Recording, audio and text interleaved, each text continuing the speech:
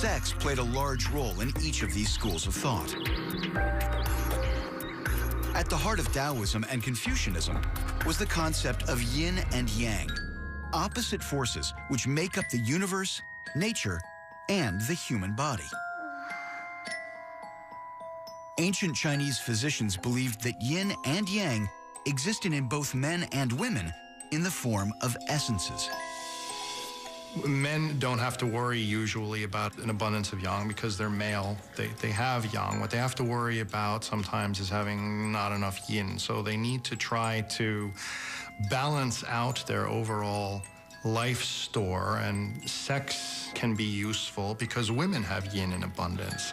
Well, if the idea is to try to take in someone else's life store, what goes hand in hand with that is not giving up your own. Any man who could retain his semen was believed not only to enhance his chances of prolonging his life, but to acquire powers that would make most superheroes envious.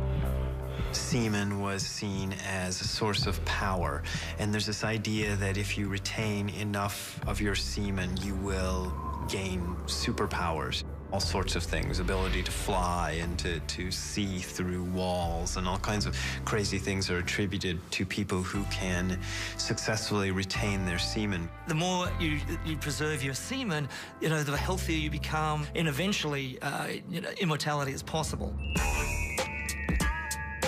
to aid their quest for immortality many men turned to the Taoist sex manuals of the 3rd century BC. As a result, these racy how-to books became runaway bestsellers. They provided men with a blueprint for lovemaking, and more importantly, a guide to preserving the all-important male yang. They lay out the basic physics that if you want to increase your, your health and extend your life, the way to do it is to extract life essence uh, from other people, and you can tell that they're written for men because the other people that they have in mind are female. One of the Taoist texts recommends if you can have sex with 40 women and soak up their yin, absorb their yin without releasing any of your yang or sperm, this would be a tremendous enhancement towards the attainment of immortality. Women are not expected to achieve immortality in Taoism. This is something that men achieve. We're talking about very patriarchal, very male dominated cultures here. Men who want to uh, practice this would prefer relatively young females because they have the, the, the, the biggest, most powerful store of sex energy.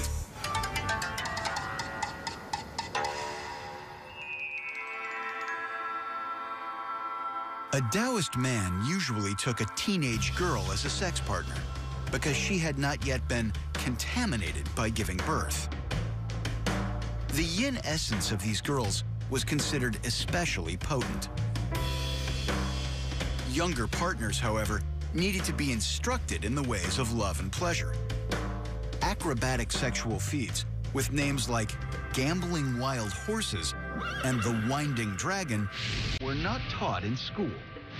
For that carnal knowledge, lovers turned to pillow books, such as The Secrets of the Jade Bedchamber. When the red flower shows its beauty and exhales its heady perfume, while she stays with you in the night and you play and take your pleasure with her, pointing at the pictures, you follow their sequence, while she blushes and looks abashed and coyly protests. They were often uh, very graphically illustrated, showing the various positions that one was supposed to engage in. And some of these positions have great names like the turtle and things. You know, sometimes only the names have survived, and then you just have to guess, you know, what?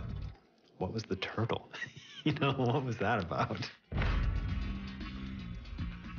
These sex manuals, also known as pillow books, offered young lovers a host of colorful expressions for their respective genitalia. In various chapters, the jade stalk was embraced by the cinnabar cleft. Or the heavenly dragon pillar might have a chance encounter with the golden lotus. And just how many ways were there for these poetically named private parts to get together? According to the master Tung Hsuan, there were 30 different sexual positions. In the second century BC, Confucianism became a state orthodoxy. Unlike Tao, which stressed the longevity of the man, Confucianism placed the utmost importance on family and procreation. This school of thought would change not only China's social structure, but its definitions of immortality and sexual pleasure.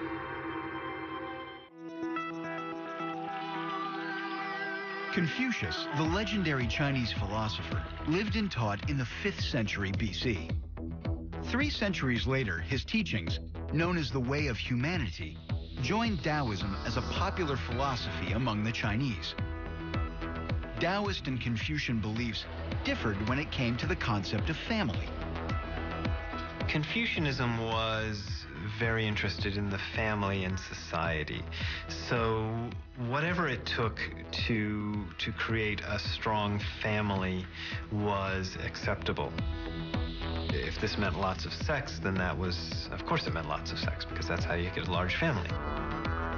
With the rise of Confucianism, the concept of the ideal Chinese woman changed.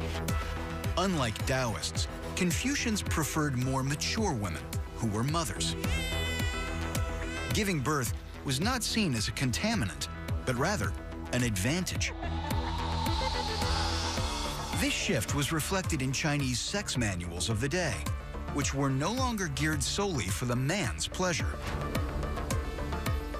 How do you entice the woman to have sex was a big theme in the Confucian uh, sex manuals. Uh, you wanted to be good at seduction, and there were very clear lessons about that, like, for example, engaging in foreplay making it pleasurable for the woman so that she'll want to uh, do it more. And if she does it more, she'll have more children. If the woman enjoyed sex, then she was going to have more sex and she was going to bear more children. China was an agrarian society with a high infant mortality rate. Large families were necessary to harvest crops and run farms. One of the surest ways to ensure a large family was the practice of polygamy.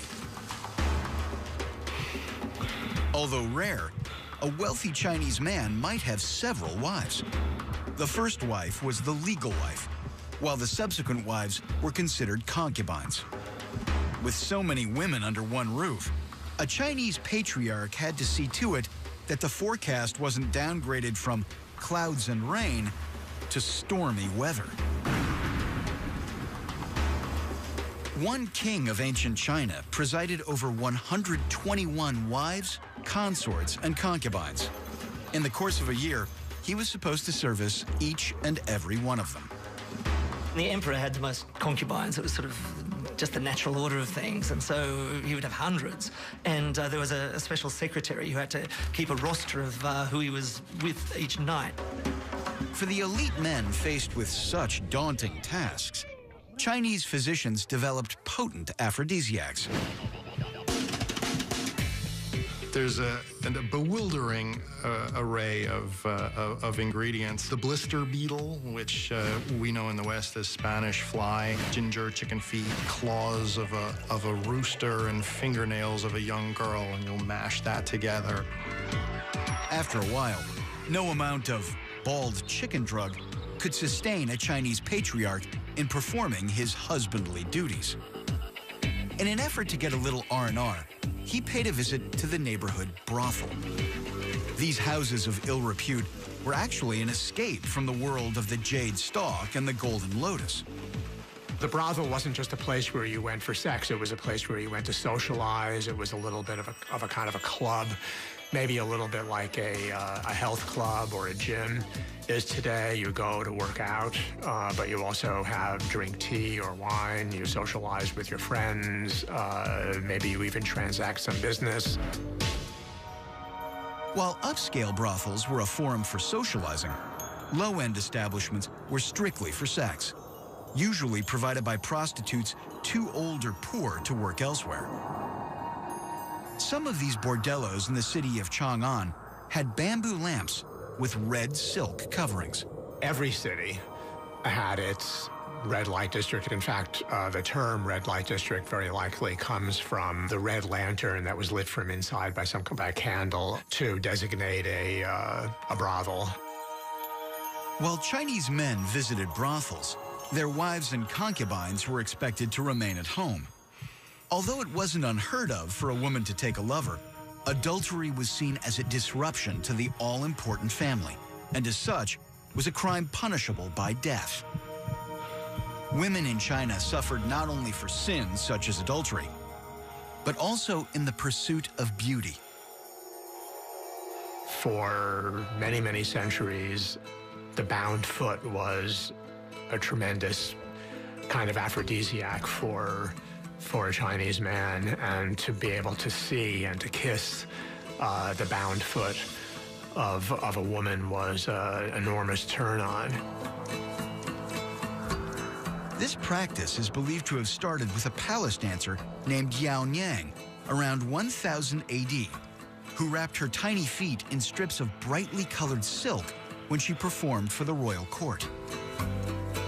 Tiny feet hidden under silk ribbons soon became a sexual turn on. It's a fetish that can't easily be rationalized. Sometimes a husband would never see his wife's um, unbound feet, and so for that reason, since it was inaccessible, it was uh, it was fetishized. So they're binding women's feet up, you know, which is an incredibly painful and agonizing experience, and they're barely able to walk. So it's it's another way of just controlling women, really. Even as foot binding's popularity spread during the Middle Ages, China itself was growing more conservative, a trend that continued up through the modern era. The secrets of the bedchamber would not be lost, however. For the legacy of erotic literature and exotic lovemaking created by the Chinese would be passed down to a younger country to the east, Japan.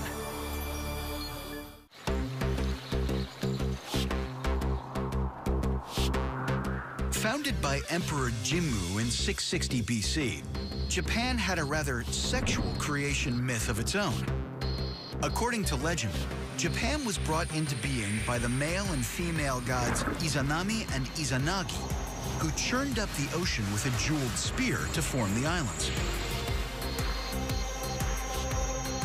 Once the gods created Japan, they talked with each other about their bodies. So you don't you don't have this idea of a, a male creator god coming along and going poof. There's an exchange between the male and female aspects of the divine that come together and um, and bring forth Japan out of the Pacific Ocean. While Confucianism and Buddhism did have an impact in ancient Japan, the Japanese had their own unique beliefs regarding sex. The Japanese believed that the family was the backbone of daily life. So long as men took care of their families and fathered children, they were free to cavort with prostitutes and concubines. It was considered kind of uh, expected that men would have dalliances outside of marriage. And the women kind of put up with it. And they're probably having dalliances of their own, but they're not quite as open about it. It's not seen as kind of a natural thing for the man to only have sex with the wife. Unlike their Chinese counterparts, Japanese women of the 7th century often had multiple lovers and husbands. Aside from a man's wife, another highly important female in Japanese society was the prostitute. She played a vital role in stress relief for Japanese men. There was this idea that, that just being a prostitute didn't necessarily make you an immoral person. The prostitute gives her sexuality to relieve, relieve a kind of suffering. So she performs this service. She does, she does what's necessary to kind of um, keep society going. Prostitution was licensed and regulated by authorities beginning in the 13th century. But its most renowned era dawned during the Tokugawa period in the 1600s. The brothel was attached to uh, a whole way of life that involved music, dance, tea ceremony, uh, costumes. It wasn't just for sex, it was a whole entertainment quarter. It wasn't just a brothel. Around the same time, a lovely and talented woman emerged the geisha.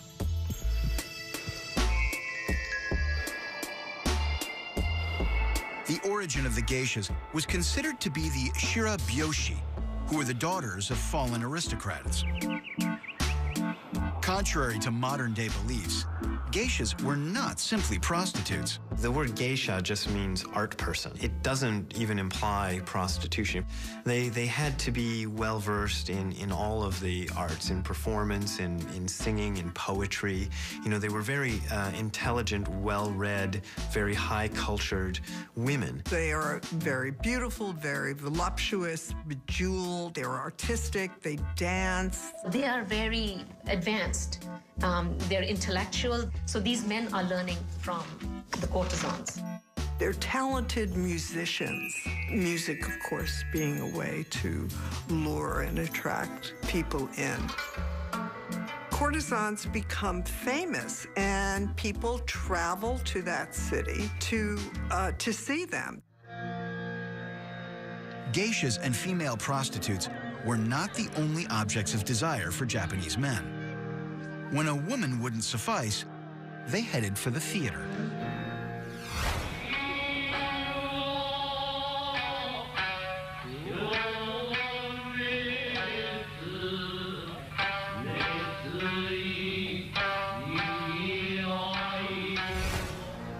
Kabuki, where women's roles were played by men, was a haven for young male prostitutes, who often had affairs with shoguns and high-ranking samurai.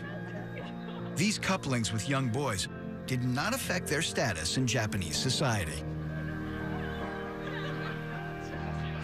There was never the connotation of unnaturalness, uh, of something degrading, of sinfulness uh, attached to homosexual desire. Some of the most famous samurai warriors who were celebrated as these, you know, tough men with their swords and going out there doing manly things and killing people and all that were, were what we would call in today's terms um, gay.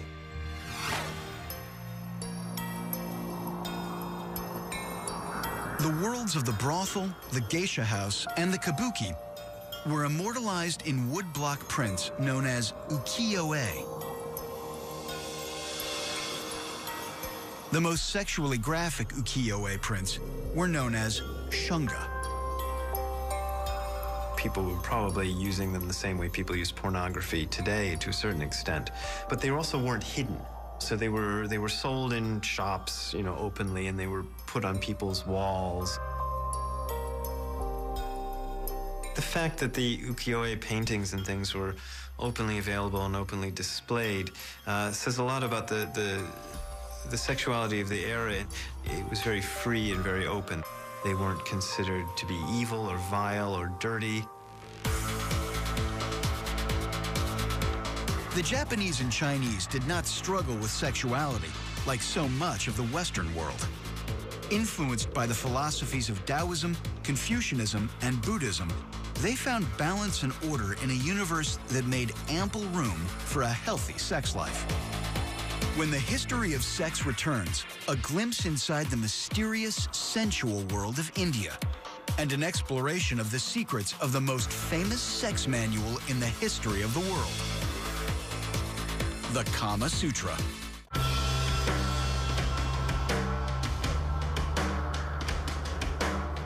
For more than 2,000 years, sexuality and religion have been inseparable in India. Both men and women have sought unity with the divine through the pleasures of the flesh. The rich and vibrant sensuality found in India's various religions and philosophies can be traced back to its creation myth, which is an erotic blend of nature and sex. We have this hymn, hymn of creation, and there you have the skies and the earth having an intercourse. And it's really done in very beautiful language, very graphic language. It's kind of a cosmic intercourse. and there's all kinds of um, bodily fluids there. There's the water and there's the honey, and it's really described beautifully honey dripping. So it's really kind of this cosmic union. So, this is what is in the Indian imagination. Despite India's many race and class distinctions, spirituality and sexuality remain tightly interwoven. For the Hindus, uh, sex is something cosmic, something ritualistic, something you just don't do for reproduction, but something for the divine. Much like the Greeks, the Indians took many of their cues, sexual and otherwise, from their gods and goddesses. The Indian gods engage in human activities, especially in sexual activities, and they are depicted as generating uh, the force of creativity through their own sexual desire for, for each other. The god Krishna embodied passionate love and enjoyed quite a reputation as a ladies' man. Oh, Krishna is the god of love. And then he plays around. So that's why you get the delight, you know, the aesthetic delight. The gods can play. And um, what does Krishna do? The girls have gone for swim. He takes their clothes, perches himself up on a tree, and he won't return those clothes to the girls till he gets to have their hugs and kisses and he gets to see them in the nude. While Krishna's Hindu devotees transcended earthly life through passionate love of their god, other prominent religions in India, such as Buddhism, discovered their own unique paths to enlightenment. Yoni is the womb, it is the female body, it is the fire, it is the source of enlightenment. There is a school of Buddhism that has this idea that, that the Buddha resides in the yoni, um, that sees sex as a way towards enlightenment. Not all followers of the cherubic god went through the yoni in their search for eternal bliss. Several schools of Buddhist monks and nuns chose a life of celibacy in a monastery. The original Buddhist monks believed that in order to meditate properly, you had to forego the temptations of, of the flesh, because that gets in the way of the meditative life. An existence devoid of earthly delights did not appeal to everyone. In the third century, a pleasurable alternative emerged in Hindu society with history's most exotic sex manual, the Kama Sutra nouveau riche merchants who wanted to define their lovemaking techniques found the Kama Sutra an invaluable aid. The Kama Sutra shows the idea that sexuality is something that's to be learned, that's to be done in a refined way, that the more you know and the more skillful you are at it, the more enjoyable it will be for both the man and the woman. Like Hindu society, which believed in the categorization and classification of everything from social class to food, the Kama Sutra provided an extensive inventory of all things sexual. Among the erotic tome's many lists were several types of love bites and scratches, four kinds of love, eight stages of oral intercourse, and 30 sexual positions, some of which might be better left to contortionists. Much like an automobile owner's manual, the Kama Sutra provided solutions for virtually every sexual predicament, even a man's physical shortcomings. It talks about different techniques of uh, penis enlargement so that, uh, you know, putting weights uh, on the penis. It sounds kind of horrible, actually, uh, but size counts in the, in the Kama Sutra. The Kama Sutra proved useful not only in the bedroom, but with the written word as well. Poets often used it as a sexual thesaurus. There might be reference to the ringing of a woman's bells. The bells were worn as a kind of fashion thing. And so if the girdle bell is ringing, that means the woman is on top. And if the ankle bell is ringing, that means the woman's on the bottom. Um, it's just a way to talk about sex without, without being too direct. The Kama Sutra encompassed much more than the secrets of sexual pleasure. It also provided a blueprint for courtship and marriage. When the history of sex continues, a look at marriage, taboos, and the mysterious sexual practices of Tantra. With its publication in the third century, the Kama Sutra found a vast audience in India. Among the more avid readers of the sex manual were young, upwardly mobile men, known as Nagarakas. The Nagarakas were upper class men who devoted themselves to uh, sexual pleasure and to a, a, a kind of refined sexuality. They are kind of aesthetes, people who know how to perfume themselves and oil their hair and enjoy walking.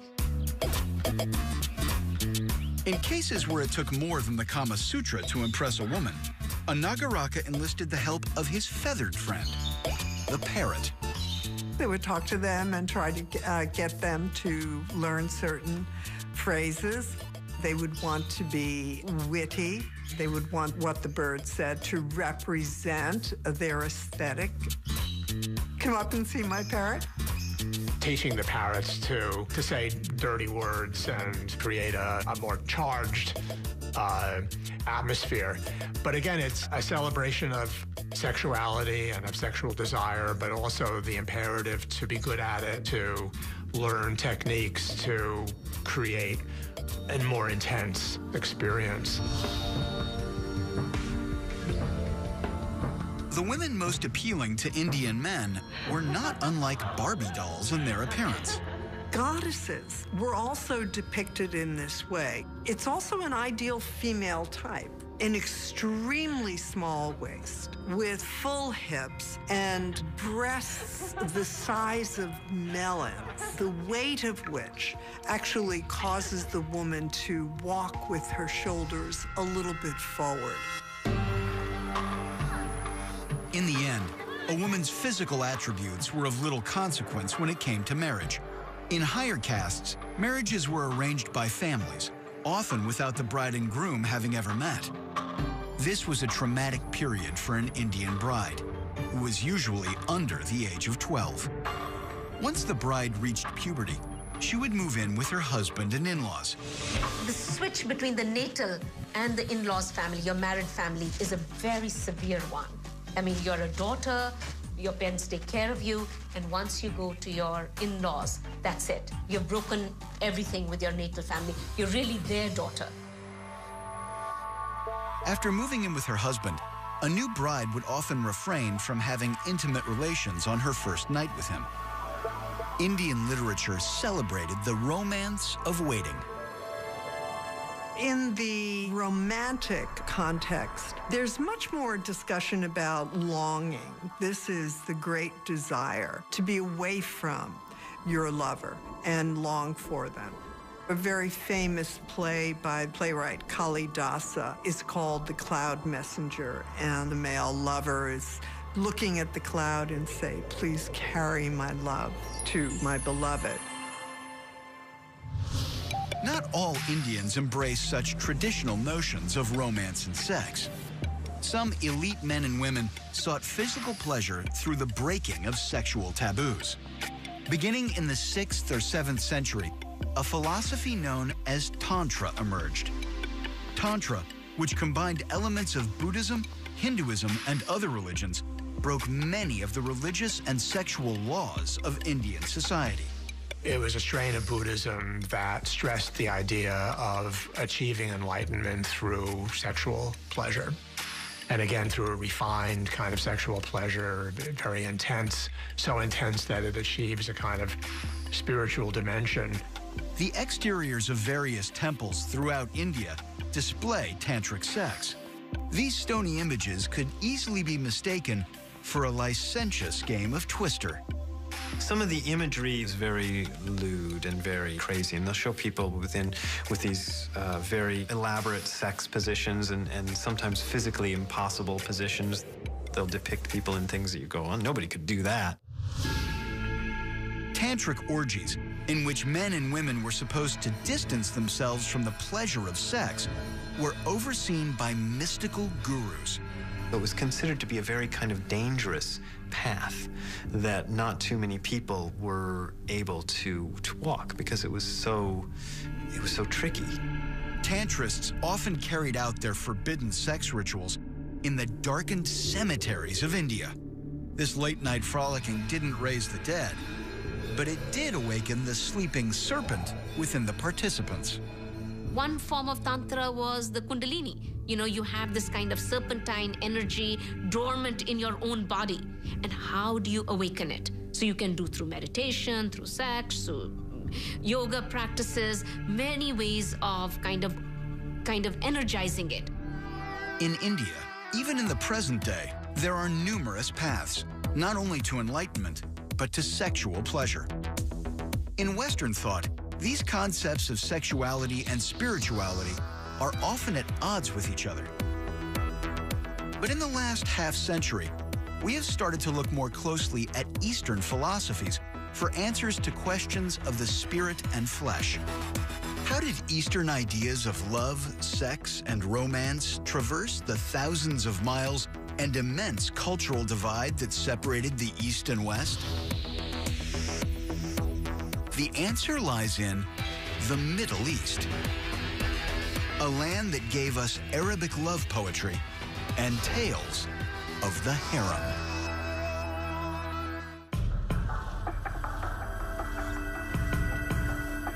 In the late 8th century AD, Baghdad became a thriving center of trade.